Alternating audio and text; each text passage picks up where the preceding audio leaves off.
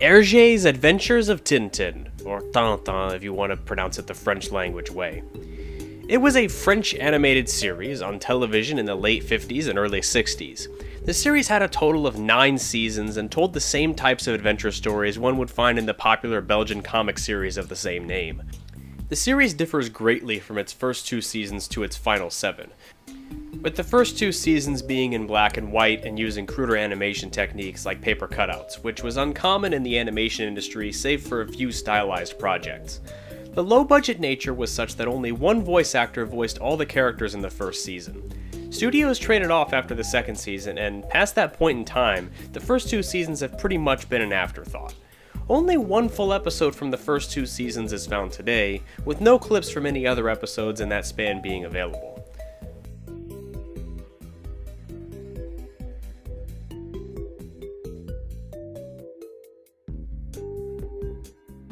Okochi Gengoro Ika. Gosh, what is it with the foreign language words in this video? Anyway, this game was an unreleased Japanese game for the Nintendo 64. It features a young boy in the 5th grade with the player playing through 12 different scenarios dealing with his family. The game takes place during the reign of Emperor Hirohito, hopefully after World War II, and has a uniquely 20th century Japanese atmosphere. Each scenario starts out with a short introduction, after which the player must control his own actions to change the emotions of his different family members, and the scenario ends with the family discussing the events that just happened. It's unknown what company developed this game, one of the programmers is known as he worked on Gale Racer for the Sega Saturn, but during this time the game was being produced, the public had no idea because no information was available. People only found out about this in 2007, about a decade after it would have released. Right now, no copies or materials are publicly available, but there are quite a few screenshots that have been floated around on the internet.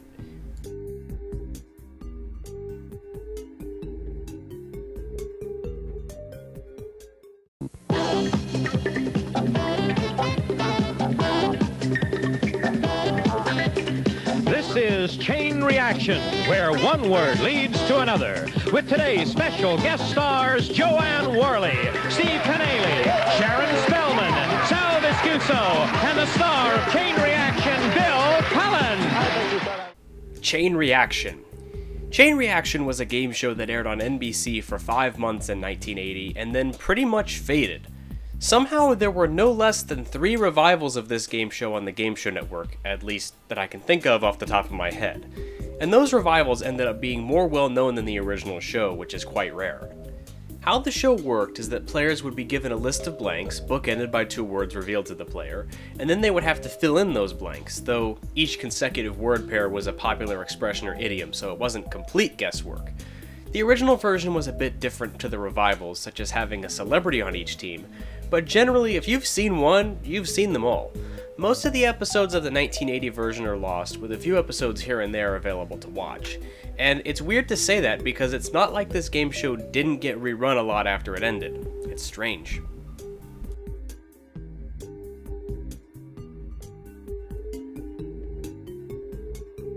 Girl Crazy. This was a low budget romantic comedy that was completed in 1994 but didn't air on HBO until 1997. And when I say low budget, I mean low budget. This film was made with only $55,000. The creator and star of the film, Richard Dutcher, admits that it wasn't very good, but considering the legacy this film has, it's weird that it's not talked about more. Richard Dutcher himself was a Mormon, and this film, beginning his filmmaking career, helped spawn the phenomenon of Mormon cinema, which is an interesting rabbit hole in and of itself. The film has kind of a bare bones plot about a man who learns it's better to be committed to one woman than to sleep around. Since its 1997 showing on HBO Cinemax, not much of the film has been seen, with Dutcher claiming he wants to release a film on DVD to show aspiring filmmakers what not to do, and planned to do so in either 2008 or 2009, which obviously didn't happen. There was a private screening of the film held by Dutcher in 2017 as part of a film class he held, but there has been no public release of the film. There's no footage of the film available as of today.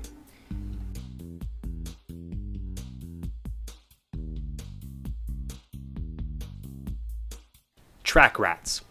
CN Real is considered a dark era in Cartoon Network history, and with that, there have been a few unsuccessful shows that did not get preserved.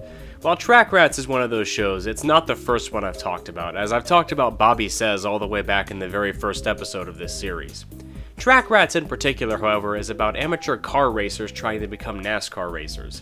Essentially, three competitors do various challenges, and the winner becomes a part of NASCAR according to description. It's unclear in what capacity that happens, though. Each episode of the series is only two minutes long and was aired between commercial breaks. There were only five episodes as well, so all of those facts combined mean this should be one of the easiest series to find since it's only 10 minutes of footage. But no footage from anything besides a 36 second trailer is found.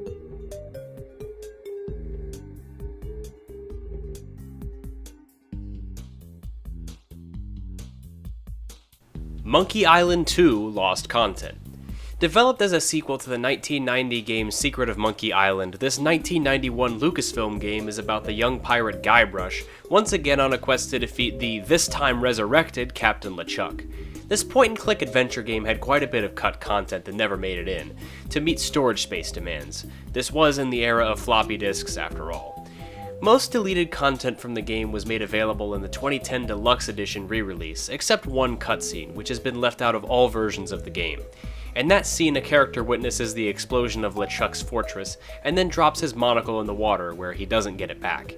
No screenshots or partial footage of that scene has been made available, and it's believed that the developers thought it was too dark to add to the game. And apparently, the first game also has some cut content, so if you want to see me talk about that in a future video, let me know.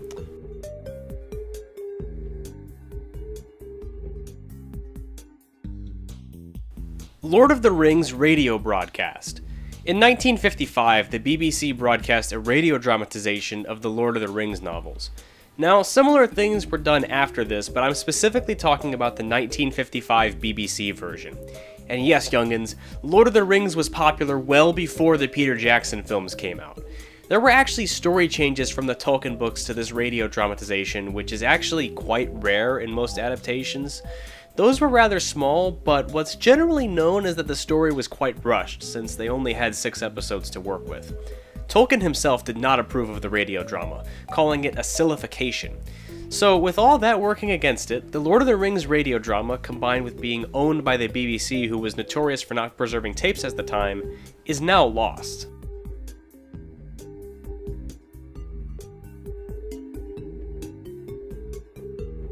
Don Bluth's Ice Age.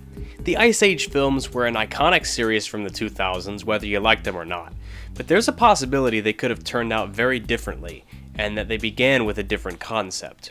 There's no outright proof of this, but it's believed that Don Bluth, of Space Ace and Dragon's Lair fame, was originally going to be given the reins to Ice Age, but he turned down the offer. But if this were true, wouldn't this decision be made before production began? Well, not exactly. It's alleged that he and Gary Goldman agreed to work on Ice Age and had begun parts of production, but after Titan AE bombed at the box office, they left the project, and that lined up with Fox Animation Studio closing. There has been some alleged concept art of the more dramatic Don Bluth take, but it's not verified as to whether or not it's real.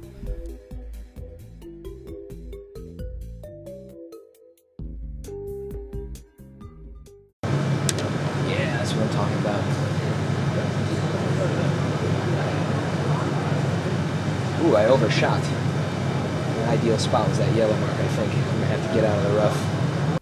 Wii Sports prototypes. At E3 2006, Wii Sports was shown off as nothing more than a tech demo.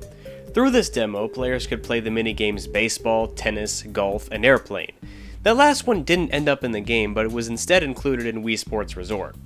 Obviously, the other three weren't the only games that ended up in the final version of Wii Sports, but they were perhaps the most well known ones.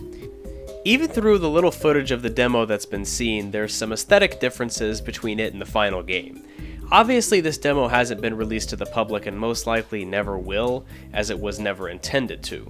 Though there is some video footage and screenshots available. There's even screenshots of the bowling game from an earlier prototype of Wii Sports that shows what the game looked like in a very primitive stage.